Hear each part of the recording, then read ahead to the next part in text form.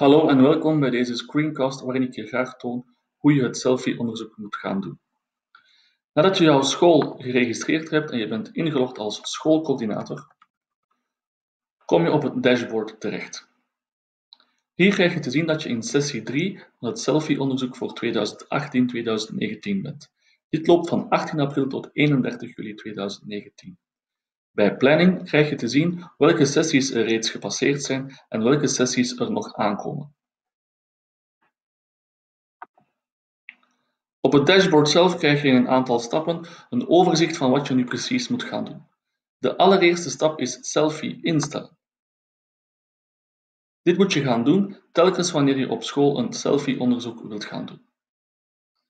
Kies bij onderwijsniveau het, geschikte onderwijsniveau voor jouw school voor dit voorbeeld kies ik voor een eerste graad secundair onderwijs, waarna je een aantal extra opties moet gaan bepalen.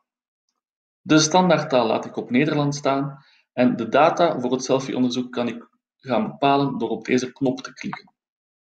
Ik plan het selfie-onderzoek van maandag 3 juni tot en met vrijdag 21 juni.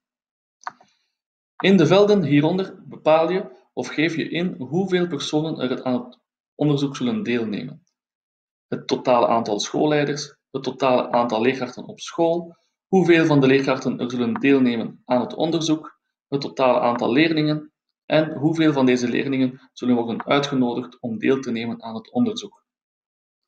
Klik op Instellingen bijwerken, waarna een aantal links worden aangemaakt. Deze links moet je gaan gebruiken om het selfie-onderzoek te gaan verspreiden. De links zijn apart voor schoolleiders, leerkrachten en leerlingen en kunnen makkelijk naar het klembord gekopieerd worden of je kan ook een voorbeeld van een vragenlijst gaan bekijken. Daaronder krijg je nog eens een overzicht van de verschillende selfie-instellingen,